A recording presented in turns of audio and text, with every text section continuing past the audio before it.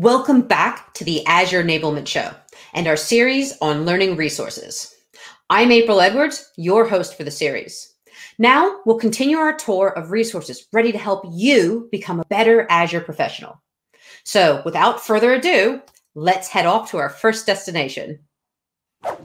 Coming up, we're going to Microsoft certifications.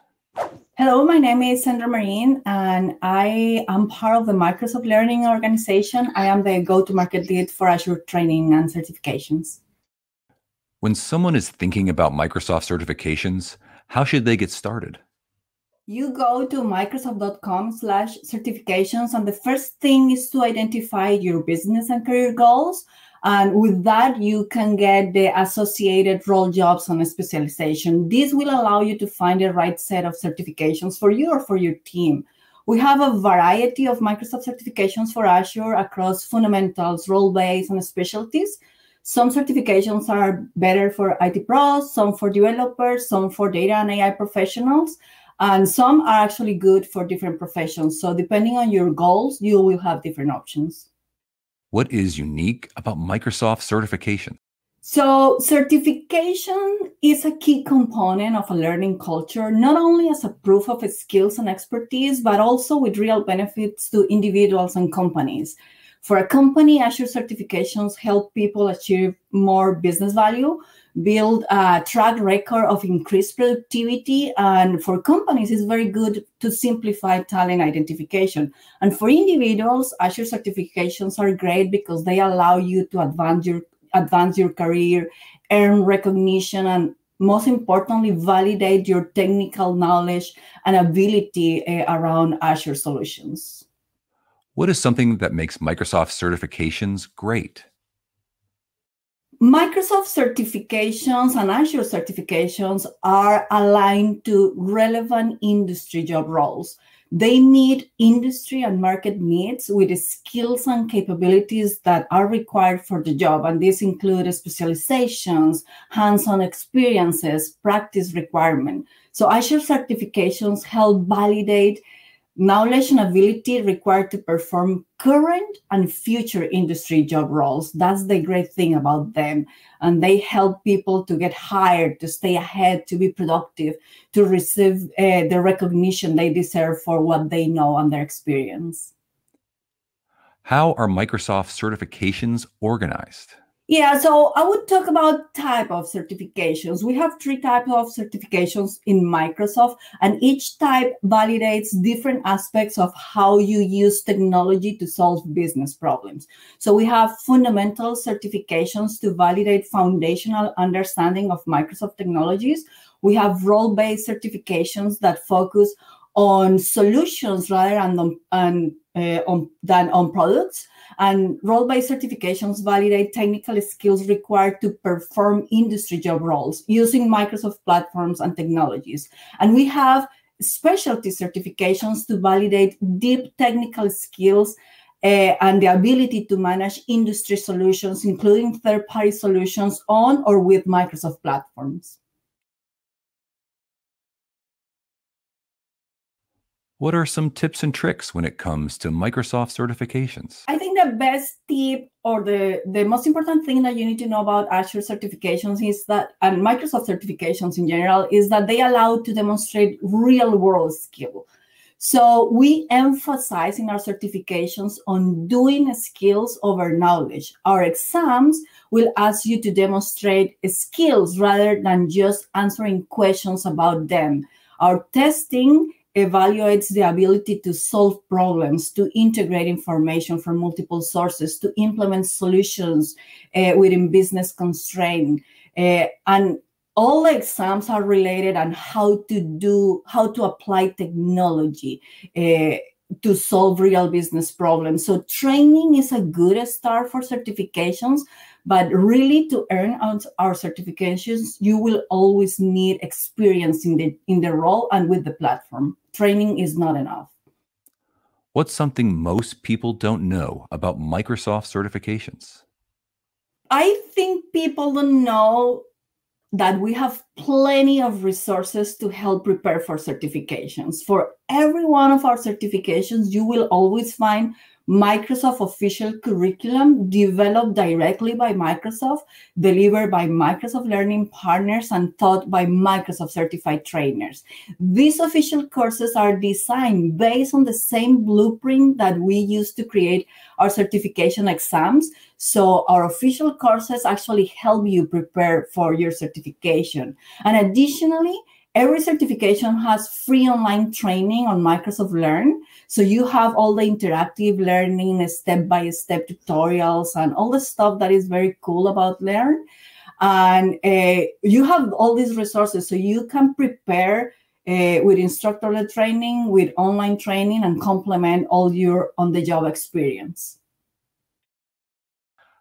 How do Microsoft certifications help people succeed in what they're trying to do? Azure certifications allow you to validate the skills to cover all the aspects of digital transformation managing on premises, hybrid, or cloud infrastructure, innovating with the best in class applications, supporting apps and infrastructure with data and analytics, everything with security from the beginning. So, Azure certifications will have you prepared for this digital world. Our next stop is instructor led training.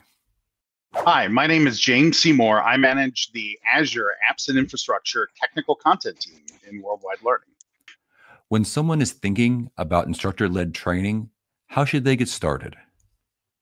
Well, to get started in instructor led training, I think the best thing to do is to go look for your local learning partner.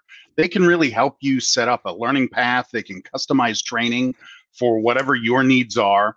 Uh, they give you personal attention, and we also keep the content up to date so you know that everything you're getting from them is the latest and greatest. What makes instructor led training great? What makes instructor led training great are MCTs, Microsoft Certified Trainers. They're the folks that can walk you through the course. They'll teach you everything you need to know. They'll hold your hand along the way. And really, the whole point of instructor led training is to prepare you to do a job. And that's how we make the courses. An Azure Administrator course is designed to teach you everything you need to know to do the job of being an Azure Administrator. What is unique about the instructor led training experience? I would say what's unique about instructor led training is that in person, uh, although today it's virtual, but still in person experience of an instructor that's leading you through the content and helping you to understand exactly what you need to know to do the job that we're teaching you for. What's something most people don't know about instructor led training? What people don't know about instructor led training is that it is customized to them in their local language.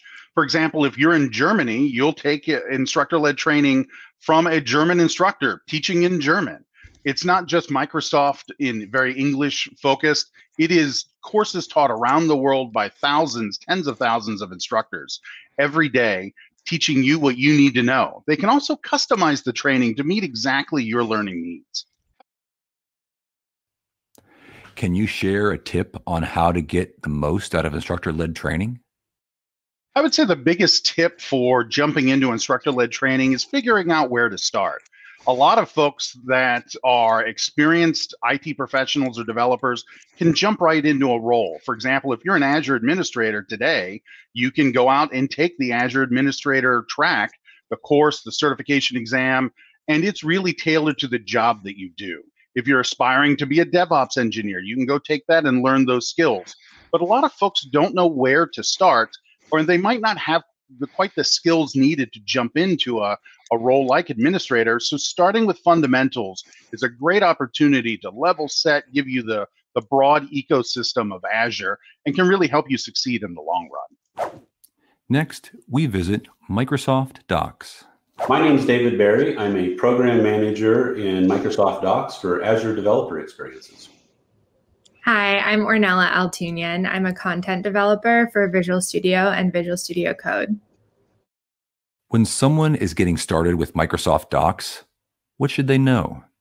So, Microsoft Docs are a one stop shop for all Microsoft products and services. And this content is built by the product managers and engineers and content developers who actually build the product. So, you really can't get more official than that. And if you go to our page, you'll see a documentation section. And this will bring up a huge product directory of all of the things we offer.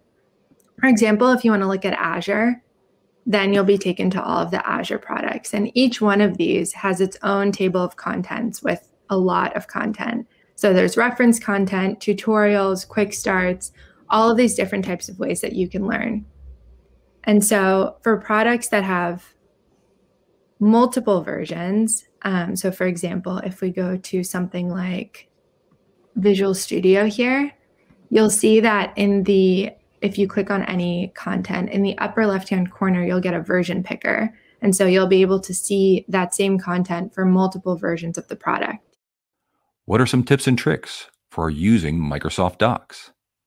Something that a lot of people don't know about is that you actually can download our docs as a PDF. And where you do that is down here in the lower left hand corner with this download PDF link.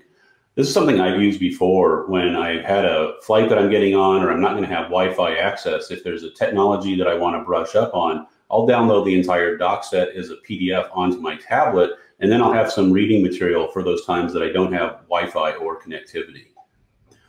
Another thing that a lot of people don't know about our docs is that all of our docs are open source, meaning that if you, as a member of the community, see something that's wrong, like a spelling or a grammatical error, or maybe you read something and you feel like, you know, this this could be explained a little bit more clearly, you can actually go in and you can actually make that change yourself. And the way you do that is by going up here to, to the edit button once you're signed in to Docs.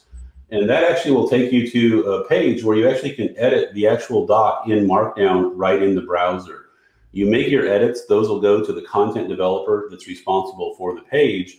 They'll look over those edits, they'll within a couple of days approve those edits.